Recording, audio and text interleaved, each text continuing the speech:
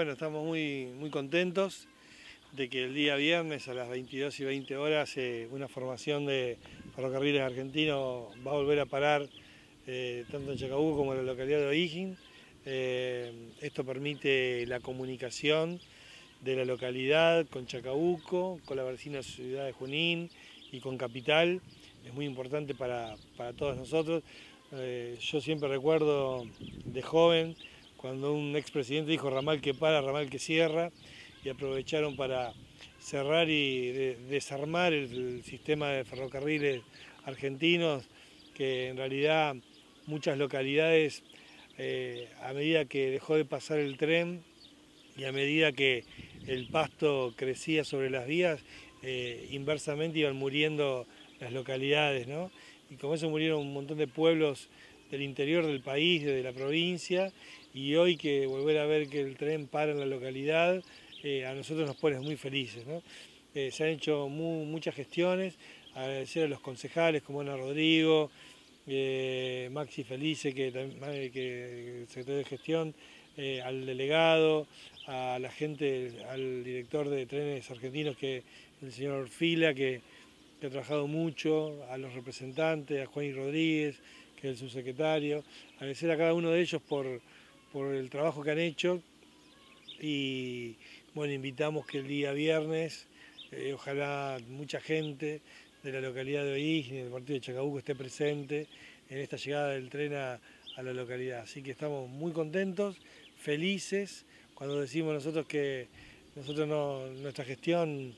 no son palabras y son, son hechos verdaderamente, y nosotros no prometimos, no, no dijimos nada hasta no estar seguros, seguros, seguros, y hoy estamos seguros que, es una realidad. Así que bueno, contento de que sucedan estas realidades en nuestra ciudad, que, Chacabuco esté mucho mejor, que si comparamos 2015 con 2019 es una ciudad que se está poniendo de pie eh, y queremos seguir trabajando para que Chacabuco sea la ciudad que todos nos merecemos. Y esa ciudad que construimos no unos pocos, sino que la construimos entre todos. Así que yo estoy muy feliz por eso. Eh, es una localidad hermosa que tiene la provincia de Buenos Aires y que gracias a Dios forma parte de Chacabuco y es una localidad que trabaja en conjunto y se ven un montón de cosas. Y lo mismo estamos haciendo nosotros en nuestra ciudad. Yo digo que Oígenes es el espejo donde debería reflejarse Chacabuco por cómo se trabaja en conjunto. Y en Chacabuco hemos trabajado mucho en conjunto y hemos logrado un montón, pero un montón de, de cosas positivas y vamos a seguir lográndolas juntos y seguramente los próximos cuatro años vamos a seguir trabajando por una ciudad mucho mejor y vamos a cambiar definitivamente el destino de nuestra ciudad. Bueno, venimos con noticias de transporte, poniéndole mucho al transporte, así que bueno, muy contento en este caso, eh, nos encuentra eh, la alegría de, poder eh, reactivar la parada del tren que une Retiro con Junín, eh, en este caso, bueno, en la localidad de, de Esto, haciendo un poco de, historia, bueno, recordarán al inicio de la gestión, tuvimos un descarrilamiento del tren en Rawson, eh, gracias a Dios con eh,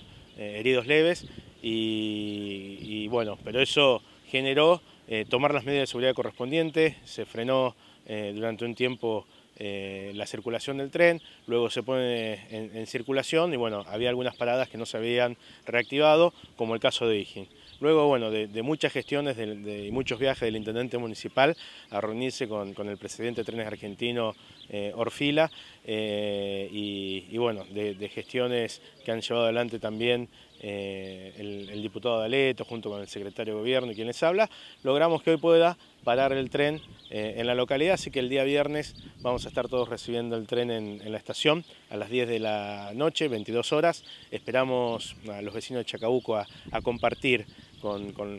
los conciudadanos de, de, este, este momento. Es un, lindo momento además tal vez